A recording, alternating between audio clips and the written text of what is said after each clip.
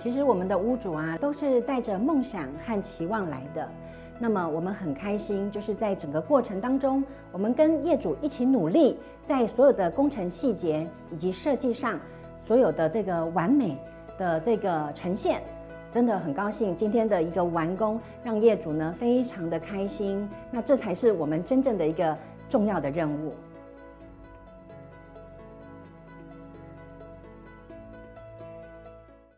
今天的案子啊，真的非常精彩，但是难度其实一开始很高。我们今天在这边是两户打通，也就是说两户的东西要从二变成一很难呢。嗯，呃，其实筛选一下，有些东西要留下来，有些东西不要，就这样子啊。那我们把这个刚好两户的区域呢，我们就分了一下。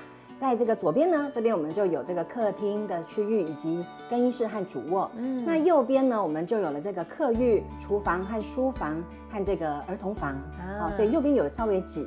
所以说，我们中间的那个尺寸啊，就会斤斤计较啊，要让它这个比例分配的刚刚好。而且两户打通之后，又多了一个玄关区，其实在生活机能上也要规划的很好哎。哎，对，没错。那我们在这个玄关一进来，一定要让它有一个独立玄关。对。那所以那个屏风就蛮重要的。那在这个屏风的后面呢，我们也就隐藏了一个暗门，这个就是通往我们的客浴的位置。那这个客浴呢，做的也是非常的精致啊！一进去看的时候，就会觉得很惊艳，对，哦，非常的这个雅痞风格，而且有这种时尚的一个呃色彩哈，让人家感觉非常的清新。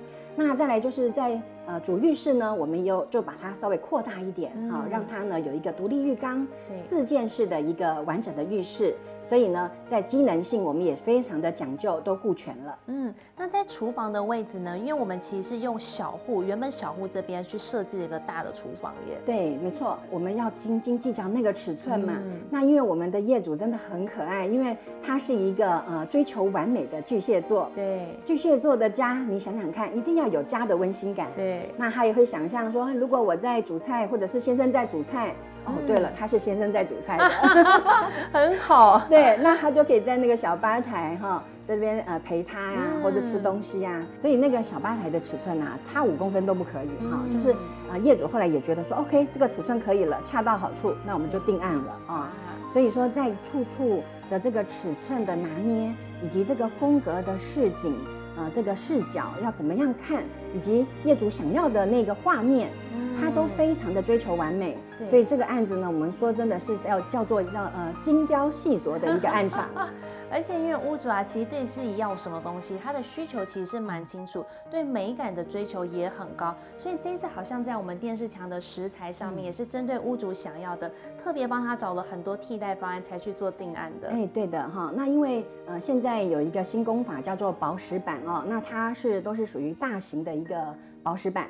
那呃，很像这个大理石的材质，嗯，那但是因为大理石这样子的一个石材的建材，其实大家还是很喜欢，对，那所以我们还是带业主到这个巴黎石材厂去好好的挑大理石，对。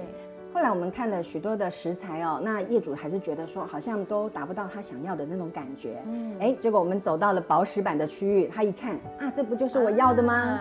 啊，所以我们就最后还是采用了这个薄石板，而且在这个雾面的这个处理啊，业主也是非常的喜欢。是，所以我们用的这样子的一个雾面，然后低调低奢风的这种感觉融入在这个空间，表现出来就相当的漂亮。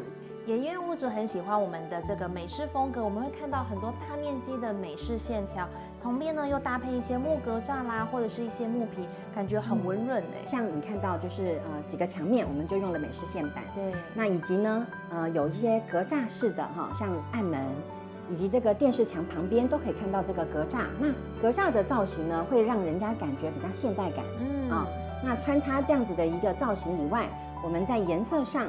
啊，就是有藤色的墙面配白色的这个呃木座造型，嗯，这样子的搭配起来就是业主他想要的那个感觉。对啊，那木纹是这样子的，就是我们全市的这个呃人字贴的木地板啊，它其实呢非常的淡雅，那这种温润的这种木质感。那我们也做了一点点木皮的跳色，啊，就用了一些胡桃木比较深色的木皮去做了一个造型的一个搭配，以及颜色的一个跳色。那整体看起来呢，就相当的有设计感。所以今天呢，这个漂漂亮亮的家终于呈现了，他也非常的开心。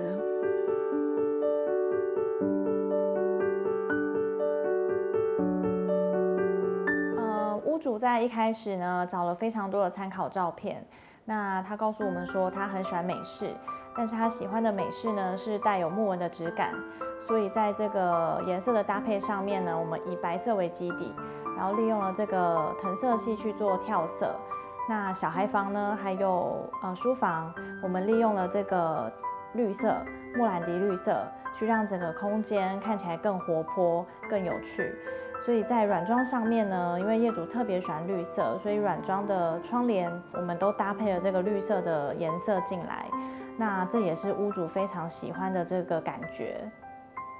我好喜欢坐在餐桌的感觉哦，两面的采光，光线从这个玻璃门透过来的感觉，真的很舒服耶。对呀，那一个家的中心点嘛，那我们在旁边呢也做了格子门的这个厨房的门，以及这个书房门也是做格子门哈。对。那我身后呢也有一个小小的一个餐柜，那这个餐柜呢有放这个呃马克杯或者咖啡杯，非常的优雅经典啊。再来是书房的格局哦，那屋主也有一个特别的需求，就是他。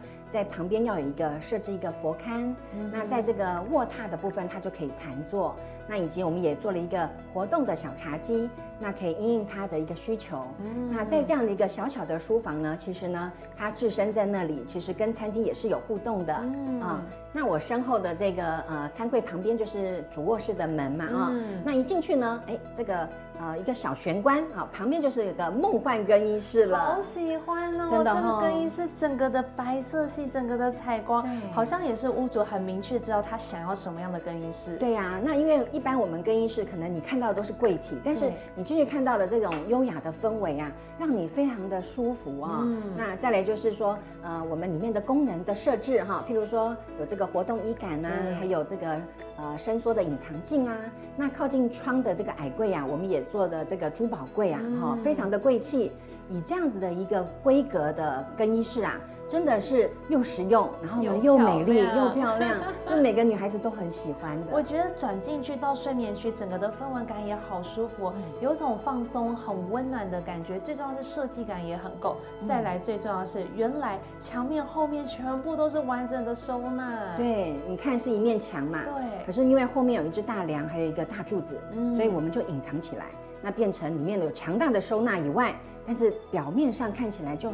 非常有这个设计感的一个床头墙。对，今天案子真的非常的精彩，真的又挑战一个让屋主非常满意的案子。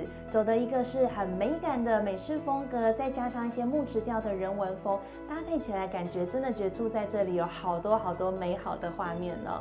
谢谢秀秀姐，谢谢。